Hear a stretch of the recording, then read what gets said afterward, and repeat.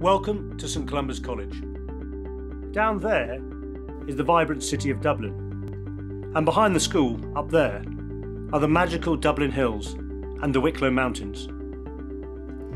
We are very fortunate to occupy a campus of 140 acres in such a beautiful place, where our pupils can learn to appreciate the natural environment around them. Now, surely, is a time when young people need to get off their screens and engage with the environmental and social challenges that affect all of us. Like all schools in Ireland and like all schools around the world, we are experiencing challenging times here at St Columba's as we learn to live in the middle of the coronavirus pandemic. We're having to adapt, to be resilient, and to face these times of uncertainty with a smile and a determination not to let our spirits flag.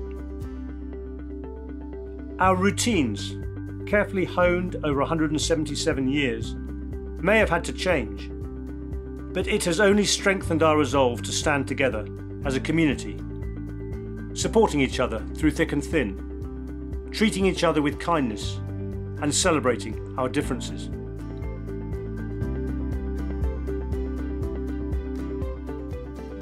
Most of our pupils are boarders, living in one of our seven boarding houses and many of the staff also live on site. So we have a very strong sense of community here. We believe strongly in the importance of teamwork, and we make the most of our campus whenever the Irish weather allows. We think it is vital to instill in each individual a spirit of service, which is the mark of true character.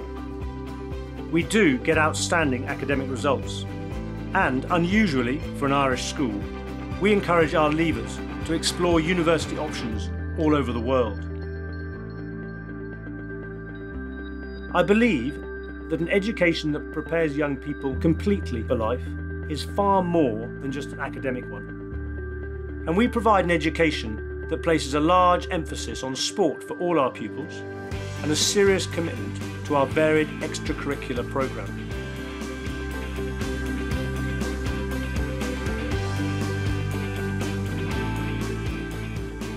In these extraordinary times, we all need a solid foundation to build our lives on if we're not to be buffeted by the storms around us. We strive to develop in each pupil a moral compass that will enable them to face the increasingly challenging and complex world for which we are preparing them. Here at St Columba's, we're not sitting around waiting for things to get better but making the most of the present moment to keep aiming higher and digging deeper. I invite you to come and pay us a visit and see that in these unprecedented times we are determined not just to survive, but to thrive.